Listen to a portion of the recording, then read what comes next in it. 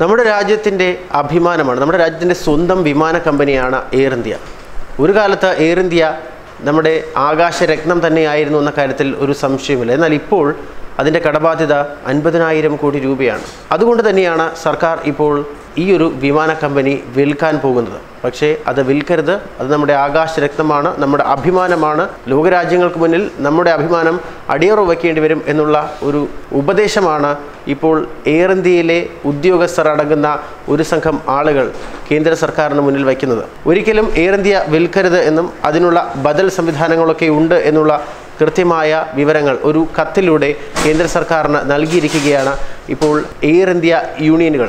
Air ഇന്ത്യയുടെ ഓഹരികൾ വിറ്റഴിക്കുന്നത് നിർത്തണം എന്ന് തന്നെയാണ് പൈലറ്റുമാർ ഉൾപ്പെടുന്ന അര ഡസനോളം എയർ ഇന്ത്യ യൂണിയനുകൾ പ്രധാനമന്ത്രി നരേന്ദ്രമോദിക്ക് കത്ത് നൽകിയിരിക്കുന്നത്.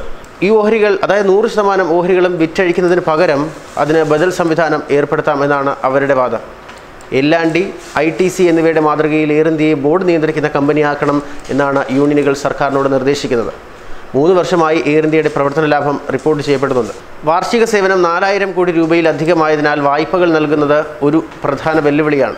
ക്രെഡിറ്റുകൾ എഴുതി തള്ളുന്നത് പരിഗണിക്കണമെന്നും ഒരു പ്രൊഫഷണൽ മാനേജ്മെന്റ് നടത്തുന്ന എയർലൈൻ ഉണ്ടാകണമെന്നും സർക്കാരിനോട് അഭ്യർത്ഥിക്കുന്നതായും ഇവർ കത്തിൽ പറയുന്നുണ്ട്.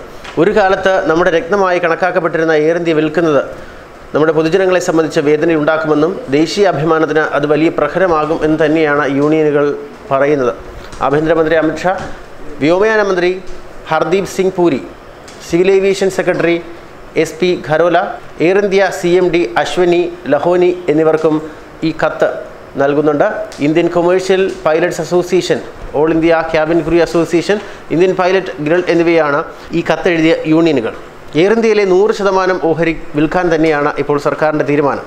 വിറ്റഴിക്കുന്നതിനുള്ള സമയപരിധി രണ്ടായിരത്തി ഇരുപത് മാർച്ച് മുപ്പത്തി ഒന്നിനാണ് ധനമന്ത്രി നിർമ്മലാ സീതാരാമൻ നിശ്ചയിച്ചിരിക്കുന്നത്. ഔദ്യോഗിക വൃത്തങ്ങൾ നൽകുന്ന സൂചന അനുസരിച്ച് അടുത്ത മാസത്തോടെ തന്നെ എയർലൈനായുള്ള ലേലം ആരംഭിക്കാം. രണ്ടാം യു സർക്കാർ അനുവദിച്ച മുപ്പതിനായിരം കോടി രൂപയുടെ പാക്കേജിലാണ് എയർ ഇന്ത്യ ഇപ്പോൾ നിലനിൽക്കുന്നത് തന്നെ. അൻപതിനായിരം കോടി രൂപയാണ് രാജ്യത്തിന്റെ സ്വന്തം വിമാന കമ്പനിയായ നമ്മുടെ എല്ലാം അഭിമാനമായ എയർ ഇന്ത്യയുടെ കടബാധ്യത.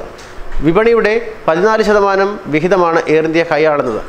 എൺപത്തിയാറ് ശതമാനം വിപണി വിഹിതമുള്ള സ്വകാര്യ കമ്പനികൾ ലാഭത്തിൽ പ്രവർത്തിക്കുകയും എയർ ഇന്ത്യ സ്ഥിരമായി നഷ്ടത്തിൽ തുടരുകയും ചെയ്യുന്നത് കമ്പനി വിൽക്കുന്നതിലേക്ക് കേന്ദ്ര സർക്കാരിനെ നിർബന്ധിതരാക്കുന്നു. നിലവിൽ മുപ്പതിനായിരം കോടി രൂപയുടെ രക്ഷാ പാക്കേജ് വഴിയാണ് എയർ ഇന്ത്യയുടെ പ്രവർത്തനം നടക്കുന്നത്. പത്ത് വർഷം ദൈർഘ്യമുള്ള ഈ പാക്കേജ് രണ്ടായിരത്തി ഇരുപത്തിരണ്ടിലാണ് അവസാനിക്കുന്നത്. തുടർന്നും എയർ ഇന്ത്യ പറക്കണമെങ്കിൽ വീണ്ടും ധനസഹായം നൽകേണ്ടി വരും.